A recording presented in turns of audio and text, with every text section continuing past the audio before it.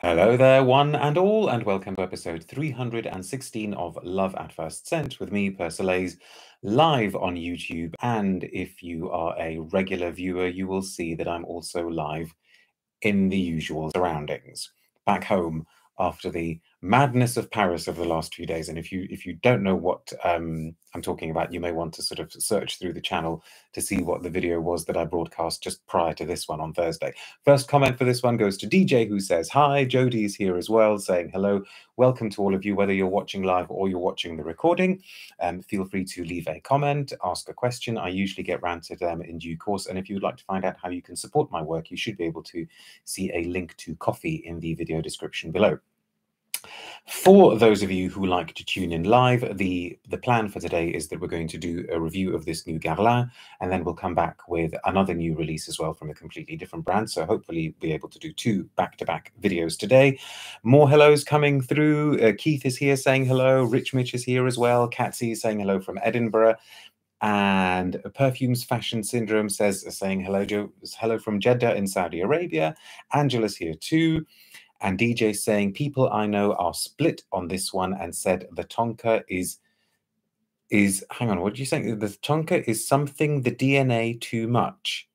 Do you mean that there's basically too much Tonka? Okay. Perfect um, timing for us to get into what we're talking about today.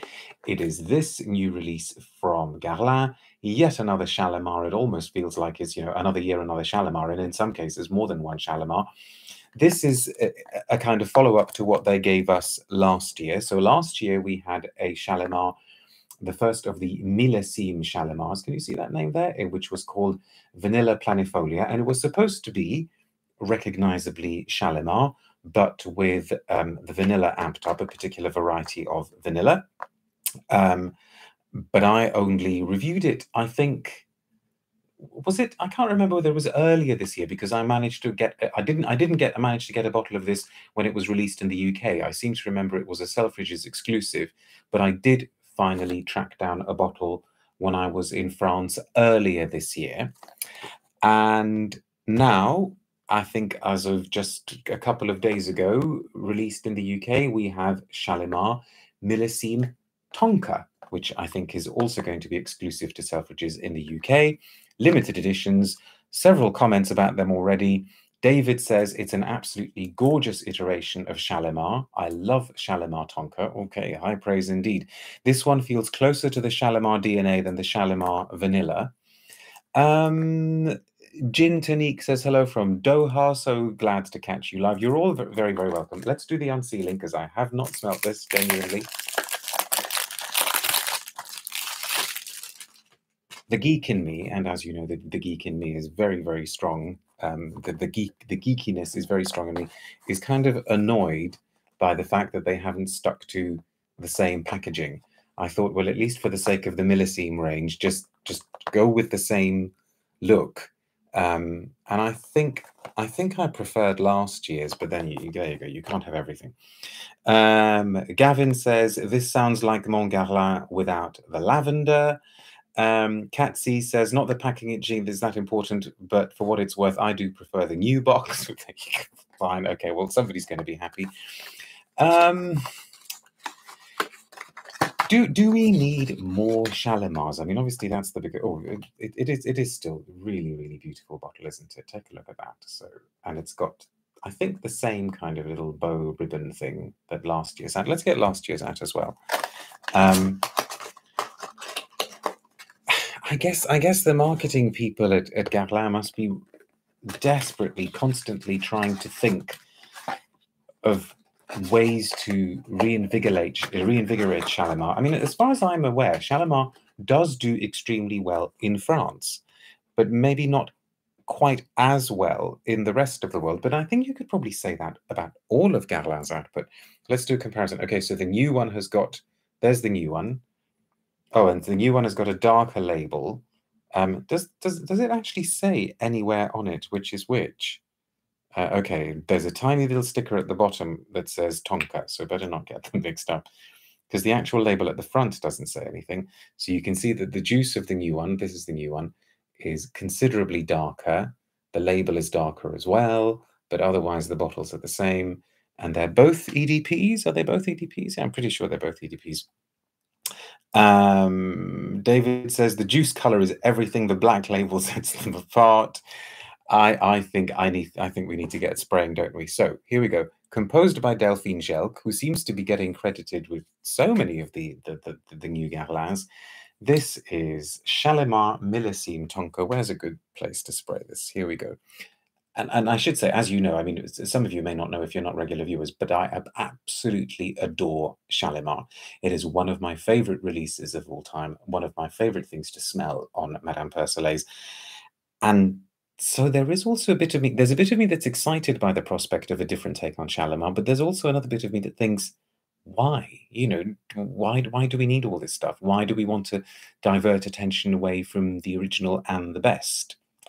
Anyway, I'm spraying now. Gosh, and the juice does come out quite dark on the blotter as well. Okay, let us see then. Do you happen to know the official release date in the UK tomorrow, maybe, says Katz. Yes, it's literally sort of like any day now. It may already be on the on the Selfridges website. I'm not sure. Okay. Hmm. mm, I should just purr by by the um the mic.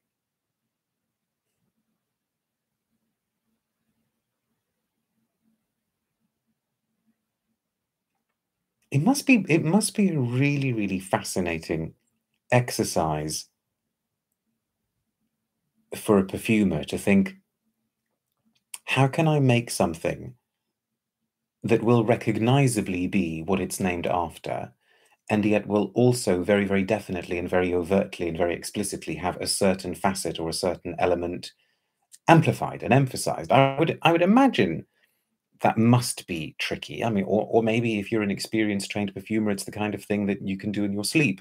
Or maybe it's the particular structure of Shalimar that lends itself well to these to these sorts of essays. Um,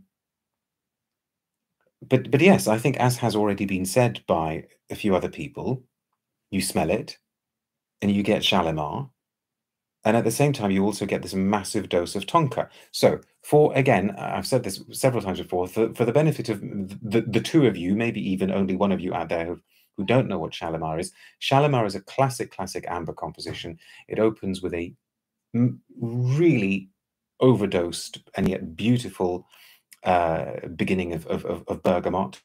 So you get the citrusy facet, but also the smoky, leathery facet of the bergamot that goes into a gorgeous uh, leather heart, and in the base, in the famous base, you get this superb vanillic, ambery sensuality uh, with lots of other things thrown in as well.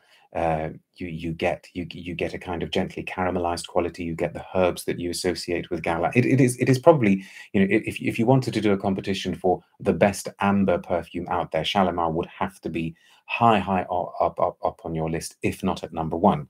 Um, so you get all of that, and then you get the facets that you associate with tonka, which is the, the kind of hay-like quality. Tonka bean contains a lot of a material called coumarin, which has got an almondy facet, an outdoorsy quality, a sunshine on hay to slash tobacco quality, something quite sweet, dessert-like, gourmand-like. Tonka beans can be used in, in cooking and baking, in particularly in, in, in pastry cooking, you, you can take a tonka bean. I'm telling you all this stuff as though you don't know, but you you can take a tonka bean and sort of grate it like a piece of nutmeg, and let the shavings fall onto uh, a fruit tart or some kind of patisserie, um, and so you get all of that here as well. Um,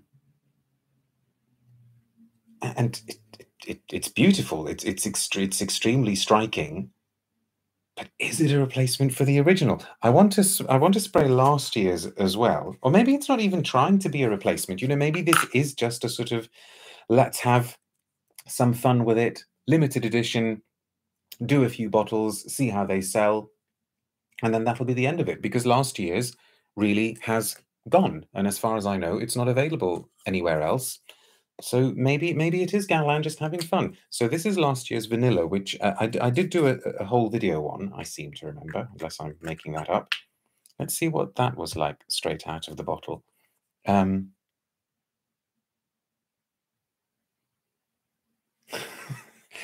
yeah, again, it's Shalimar but this is this is Shalimar that's coming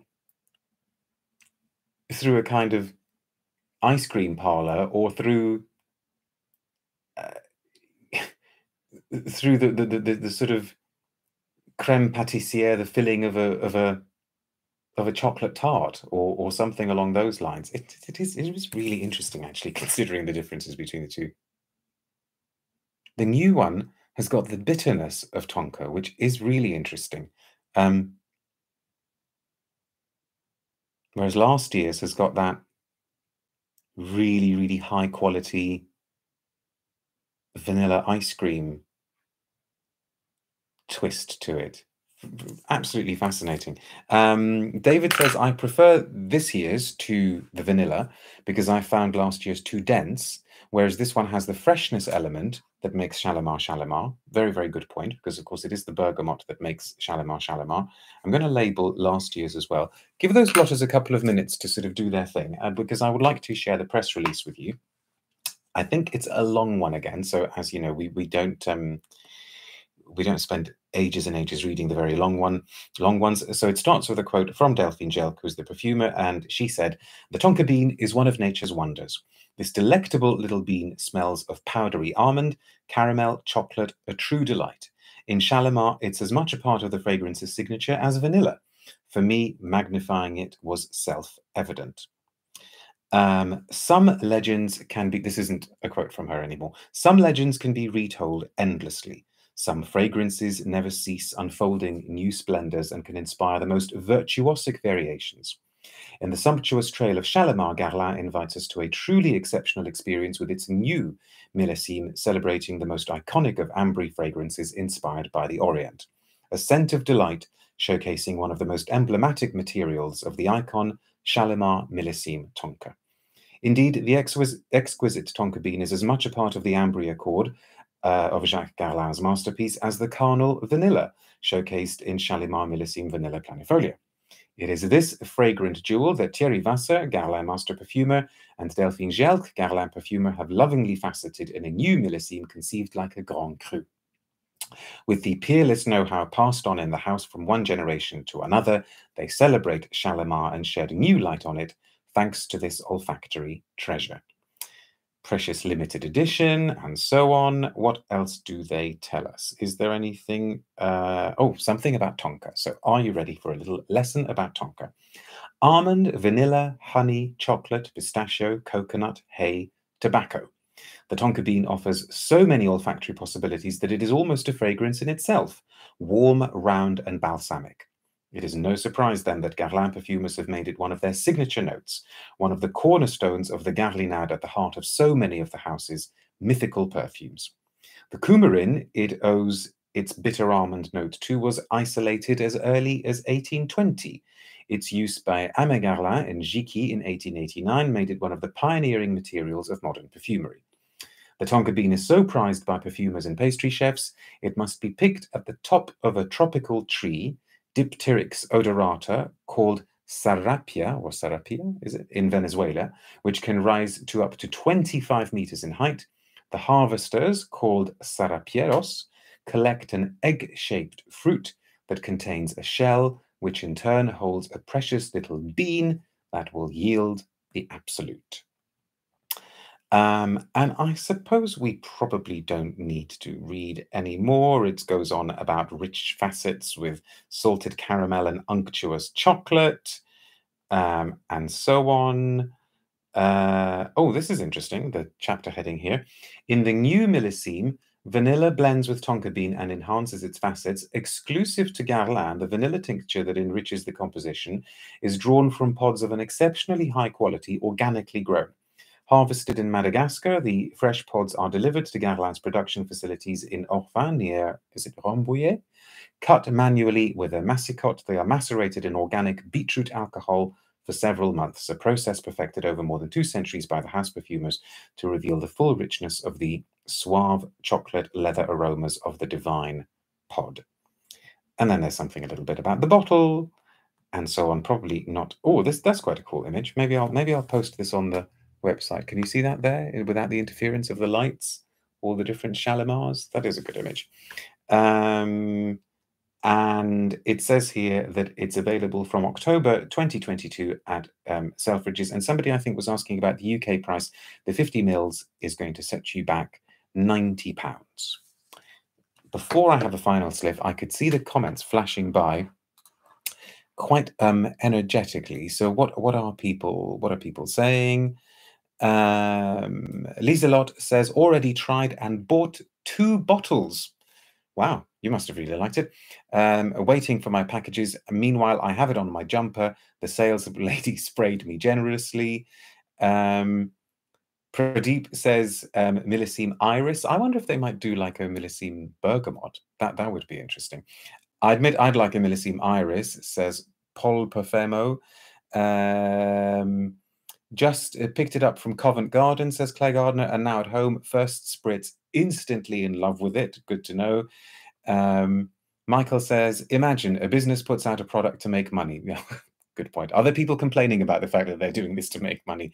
Millesime Oud, says Pradeep. Yeah, I don't I don't think it's gonna I don't think that's gonna happen. Uh, says Tonka bean is grated into high quality hot chocolate in France. It's delicious. I've tried it recently in a potimarron soup, which is a sort of pumpkin. I didn't know that.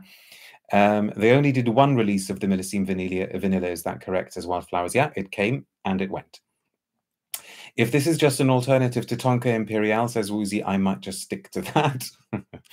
oh, I can always rely on you to bring things crashing back down to earth. Millesime Amberwood, says Space Dad. Okay, let's have a final sniff of the Tonka.